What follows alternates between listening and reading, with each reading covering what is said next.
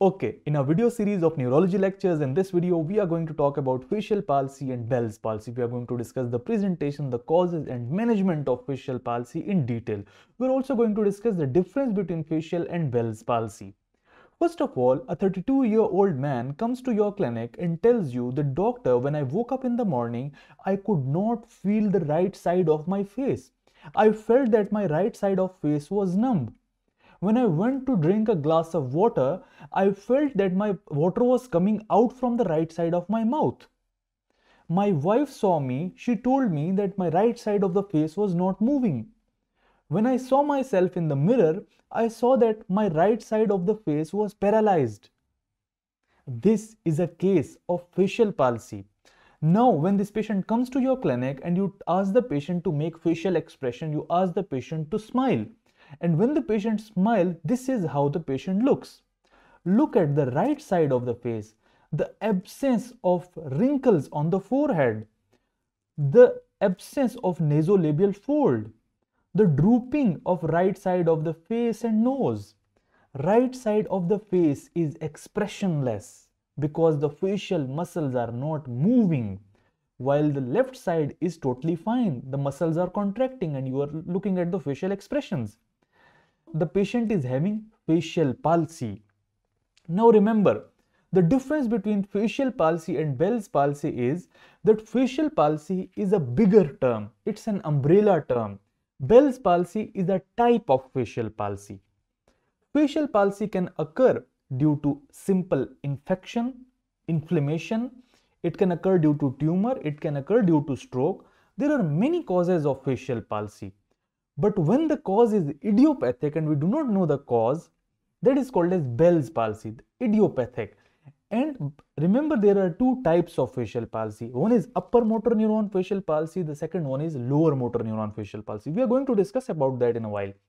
But remember for now that Bell's palsy is mostly lower motor neuron type facial palsy and patient recover from it. Within a few weeks, patient fully recover from it it's idiopathic. So facial palsy has many types. Bell's palsy is one type of facial palsy. Facial palsy can be due to tumor, stroke, and uh, the, it can also be permanent, while Bell's palsy is temporary. Now we'll discuss the causes and presentations and this point will be more clear for you. Now remember, facial nerve palsy is partial or total loss of function of facial nerve. Now we'll divide the face into two halves, the upper half of the face and the lower half of the face.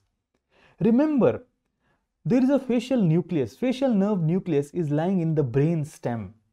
That facial nerve nucleus is also divided into two halves, upper half and lower half. The upper half of the facial nerve nucleus supplies the upper half of the face and the lower half of facial nerve nucleus supplies the lower half of the face. And remember, the upper half of the face receives its nerve supply from both sides of the cortex.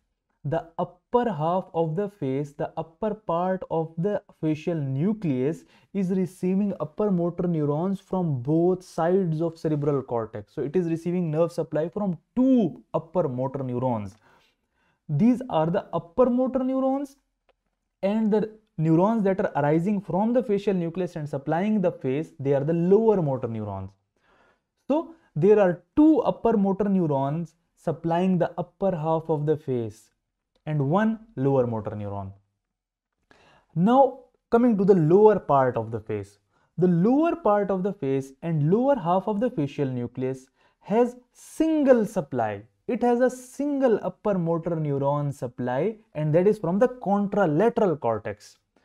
The lower half of the facial nucleus receives a single upper motor neuron supply and that lower half then gives a lower motor neuron and that lower motor neuron supplies the lower half of the face.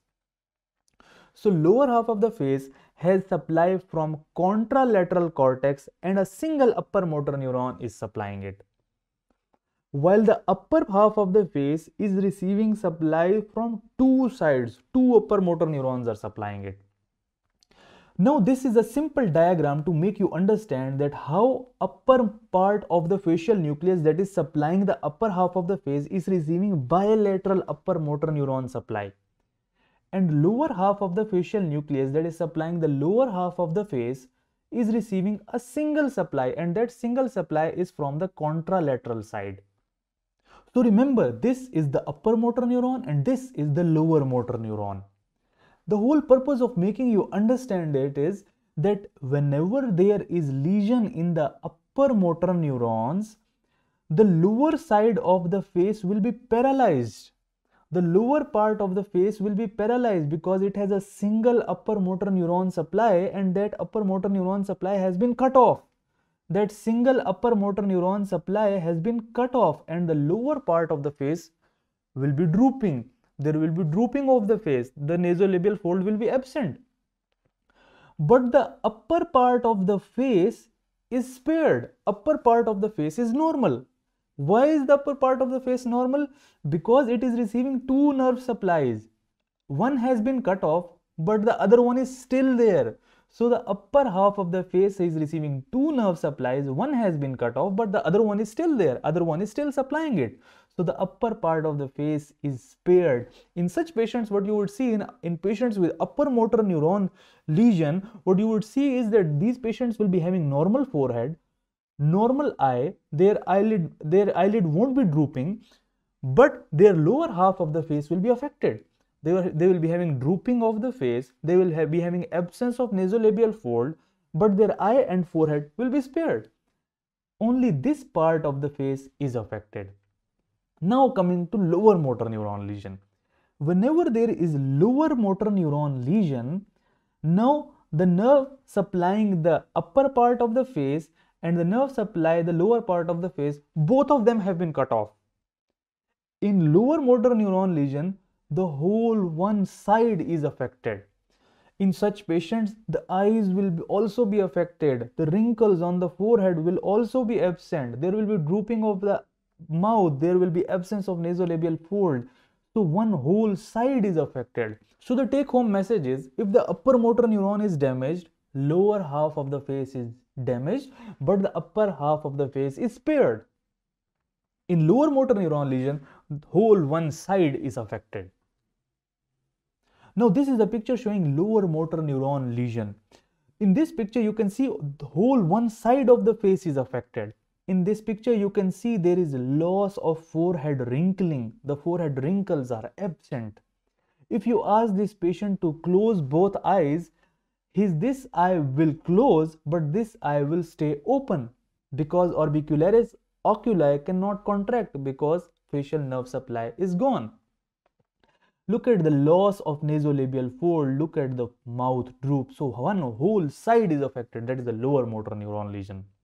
Now we'll look at the upper motor neuron lesion. In this patient, in this patient you can see the forehead wrinkles are present. And if you ask this patient to close both eyes, his both eyes will close normally. But this patient is having facial palsy they, because there is loss of nasolabial fold, there is mouth droop. So this half of the face is affected, but the upper half of the face is spared. That is a upper motor neuron lesion. So this, this is the difference between lower motor neuron lesion and upper motor neuron lesion. Now, when you understand this concept, you can easily understand the causes. Now we'll go into the causes of upper motor and lower motor neuron lesions. Upper motor neuron lesion usually have a central cause. The cause is within the brain. It is also called as central facial palsy. In lower motor neuron, it is called as peripheral facial palsy because cause is outside the brain when the nerves are coming out, when the lower motor neurons are coming out of the brain stem. In upper motor neuron, it's easy to guess. It's most likely due to stroke. It can be due to tumor. So the cause is central. The cause is in upper motor neurons within the brain. In lower motor neuron, the cause is peripheral. It can be due to any infection outside. The patient had a sinus infection. Patient was having flu for a few days and now that patient has developed paralysis of one side of the face. It can be due to infection. Herpes infection can cause it. Many viruses can cause it. And most commonly, we do not know the cause. It's an idiopathic and that idiopathic peripheral facial palsy or idiopathic lower motor neuron palsy is the type that we call Bell's palsy. So that's the difference between facial palsy and Bell's palsy. Facial palsy is a general term, a general umbrella term. Bell's palsy is a type of facial palsy and this specific type is Bell's palsy. Herpes zoster infection, Lyme disease or externa infection, these infections can cause facial palsy. Trauma or temporal bone fracture can cause facial palsy. If you have ever seen Malala talking, Malala Yousafzai, the Nobel laureate, you can see that her one side of the face is not moving properly. It's because she got a bullet that damaged the facial nerve. Now this is another chart to make you understand the difference between upper motor and lower motor neuron lesion.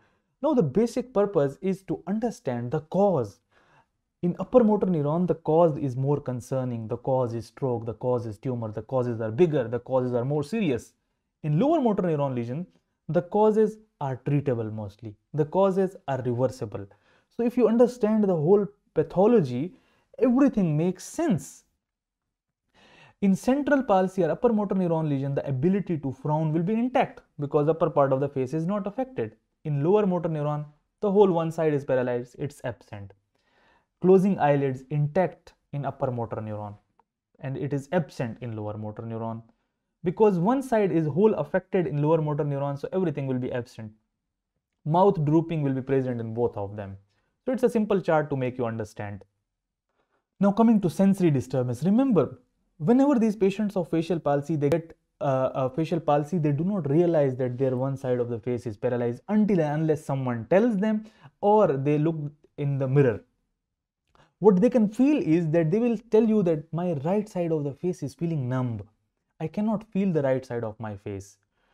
And when someone looks at them they'll tell them that uh, your right side of the face is not moving properly. Something is wrong with you. You should see a doctor.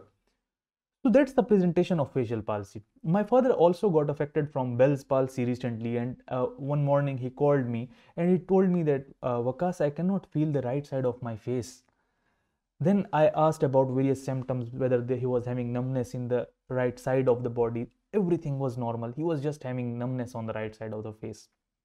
I asked him to do a video call and when he uh, started the video call and I looked at his face, my first impression was the facial palsy because his when when he was talking when he was telling and when he himself looked his uh, face into the video call he realized that his right side of the face was not moving properly he's totally okay now he fully recovered from it it was basically a bell's palsy lower motor neuron lesion that had affected the whole one side there will be sensory disturbance, impairment of the taste in anterior two-third of the tongue. Remember, anterior two-third of the tongue is supplied by chorda tympani, a branch of facial nerve. So the facial nerve is damaged that will result in uh, absence of taste sensation.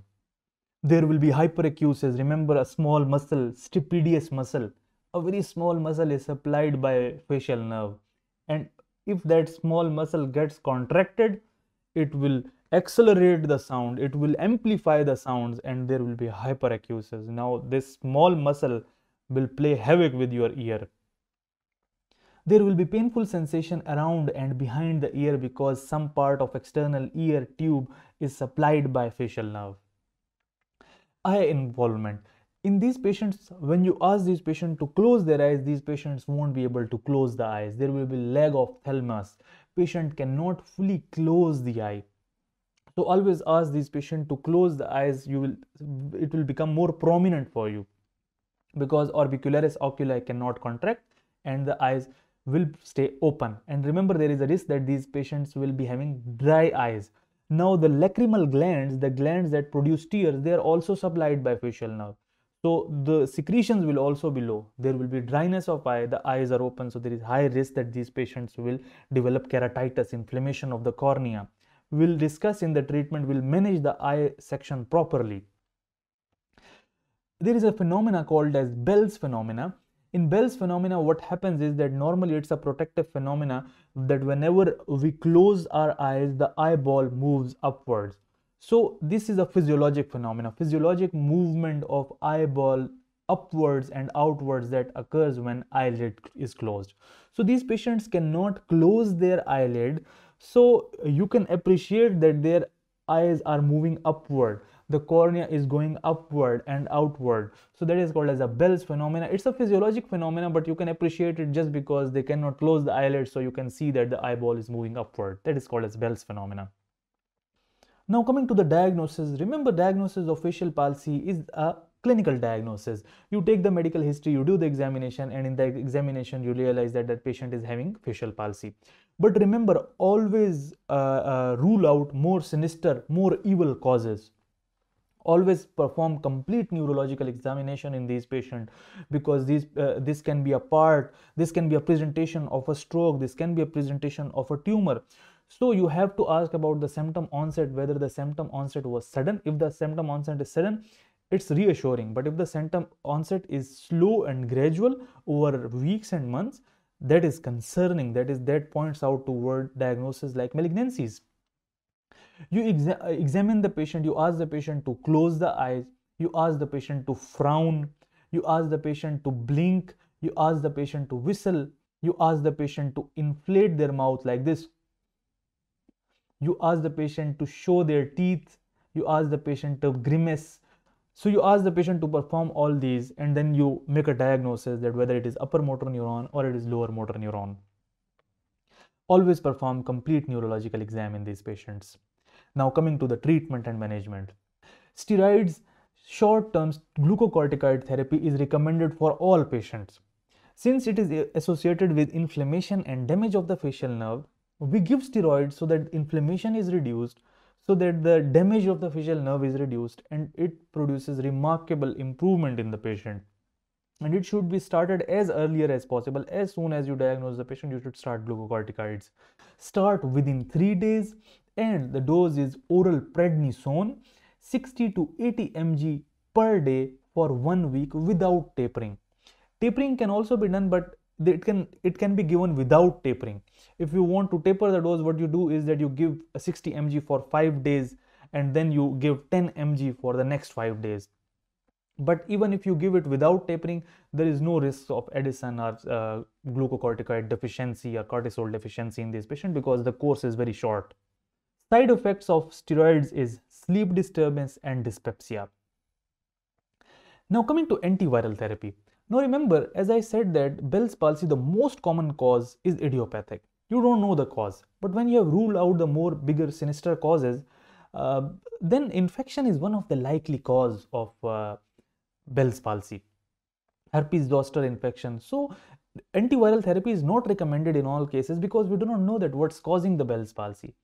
But when you are suspecting that that patient might be infected with a virus, or uh, that patient is having very severe facial palsy that is not responding to glucocorticoids so you add antivirals so that even if there is a virus you kill that virus. Uh, it, these are used with steroids. Steroids are the must. Steroids there is uh, antivirals cannot replace steroids. Steroids are the must for facial palsy but in severe facial palsy you can add antiviral therapy. You can use valacyclovir 1000 mg 3 times daily for 1 week. It is preferred over acyclovir. Acyclovir 400 mg can also be used 5 times a day for 10 days. Eye care is most important. These patients cannot close the eyes. Their eyes are dry because lacrimal glands is also supplied by facial nerve and the eye is dry now. During the waking hours, you advise them to use artificial tears 4 to 6 times daily. They can also tape the eye to keep it closed.